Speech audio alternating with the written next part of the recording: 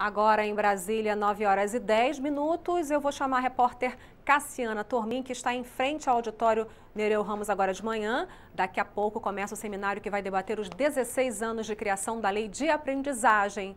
Quem tem os detalhes é a Cassiana. Bom dia, Cassiana.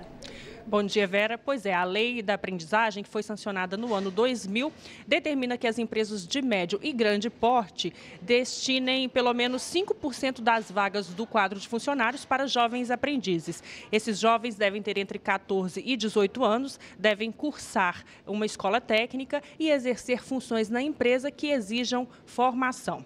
E para falar sobre esse assunto, está aqui com a gente a deputada Flávia Moraes, do PDT de Goiás, que é presidente da Comissão de Legislação Participativa Bom dia, deputada. Como que a senhora avalia esse tempo de vigência aí da lei é, que faz essa concessão aí aos jovens aprendizes, estimulando-os a entrar no mercado de trabalho? Bom dia, bom dia a todos os telespectadores. Nós estamos hoje realizando esse seminário justamente para fazer essa avaliação, né, o que nós podemos melhorar, o que tem sido feito. Hoje nós sabemos que apesar de existir essa lei que obriga é, determinar as empresas que têm um determinado número de trabalhadores a contratarem um jovem aprendiz, nós sabemos ainda que nós temos uns 500 mil jovens que não são contratados, existe uma fiscalização para isso, mas com certeza essa lei trouxe uma oportunidade é, muito importante para os nossos jovens, porque ela, além de qualificar, ela dá a oportunidade do primeiro emprego, né? o jovem tem sua carteira assinada e é muito importante esse programa. Nós acreditamos que mais do que cadeia, nossa juventude, os nossos jovens precisa de oportunidade. Então, ele é um programa que tem um viés social muito significativo. Né? As empresas vão, é, é, a orientação é que elas busquem principalmente jovens de famílias vulneráveis, né? e a exigência do curso de qualificação, ele com certeza traz uma perspectiva diferenciada para o nosso jovem. Hoje nós estamos aqui, são 16 anos né, de, que a lei está em vigor, e nós vamos estar fazendo nesse seminário toda uma discussão com vários atores na execução dessa lei. Nós temos aqui tramitando na Câmara é, outras propostas, inclusive nós temos uma proposta é, de, nos moldes é, desse programa, nós trazermos é, é, é, a aprendizagem também para o serviço público. Nós temos um programa semelhante no estado de Goiás, que é, eles chamam de Pró Cerrado, mas é o Jovem Cidadão e que com certeza tem um resultado muito efetivo. Acompanhei de perto e eu sei o resultado que esse tipo de programa traz em relação à perspectiva que cria é, no jovem em relação ao seu futuro profissional.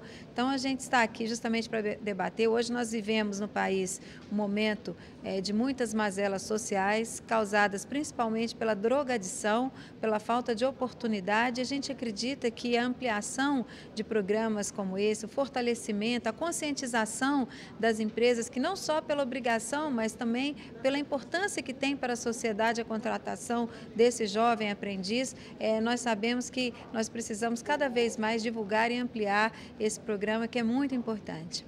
Pois é, deputada, eu vi que a programação aqui vai até o fim do dia e estão, está prevista aí um, um, está previsto um debate sobre as experiências bem-sucedidas aí de empresas que fizeram essa experiência. Quais são as vantagens aí que já foram observadas para a empresa em termos de produtividade, é, de ter aí essa mão de obra aí que está ainda em formação? É importante porque a empresa acaba que no final ela qualifica o seu próprio trabalhador. Né? A hora que esse jovem atinge é, uma idade, ele já está preparado, já entra com experiência muito maior do que um funcionário novo que a empresa poderia contratar. Então, com certeza, é, é, ele tem a oportunidade de ter o jovem como aprendiz e depois ele tem aí um profissional é, já qualificado dentro das necessidades da, específicas daquela empresa. Então, com certeza, é, é, e hoje a, a, intenção é essa nesse seminário. Nós estamos aqui trazendo aí várias empresas com experiências bem-sucedidas no sentido de mostrar a importância, é um, não é uma obrigação é, como uma penalidade, é uma obrigação que, com certeza, através da conscientização ela vira um benefício para a própria empresa. E eh, nós vamos estar premiando aí aquelas empresas que são amigas do jovem aprendiz e vamos estar aí discutindo e dando visibilidade a esse tema que é muito importante, que com certeza eh, precisa ter um apoio maior, uma dimensão maior no nosso país. Tá certo, deputada Flávia Moraes, muito obrigada e um bom seminário. Lembrando que este evento é interativo, então quem está em casa pode participar, acompanhar e também mandar perguntas, sugestões. É só entrar no site da Câmara, no edemocracia.câmara.leg.br. Eu volto com você, Vera.